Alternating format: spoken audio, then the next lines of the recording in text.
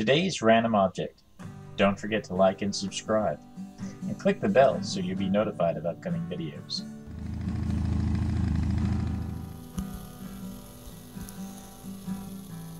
Military figures have been found in ancient Egyptian tombs and have appeared in many cultures and eras. Tin soldiers were produced in Germany as early as the 1730s by molding the metal between two pieces of slate.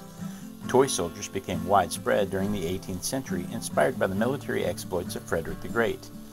Military soldiers were also used in the 17th, 18th, and 19th centuries by military strategists to plan battle tactics by using the figures to show the locations of real soldiers.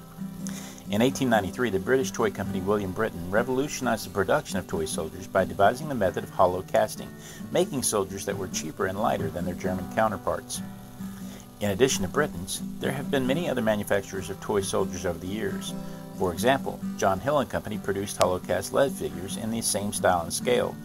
Companies such as Elastolin and Lineol were well known for their composite figures made of glue and sawdust that included both military and civilian subjects.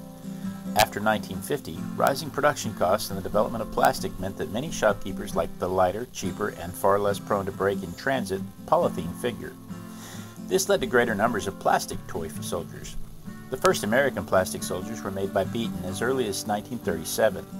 The first plastic so toy soldiers produced in Great Britain were made in 1946 by Airfix before they became known for their famous model kits range.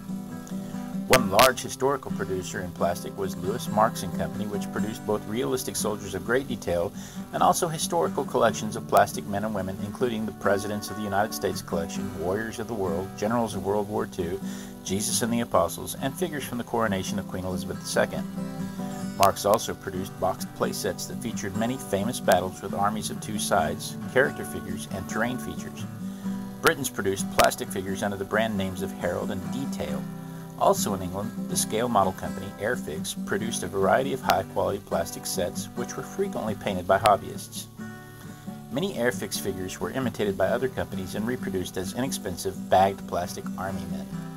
Timpo Toys, Britain's main competitor in terms of sales and quality in the 1960s and 70s, developed the overmolding system.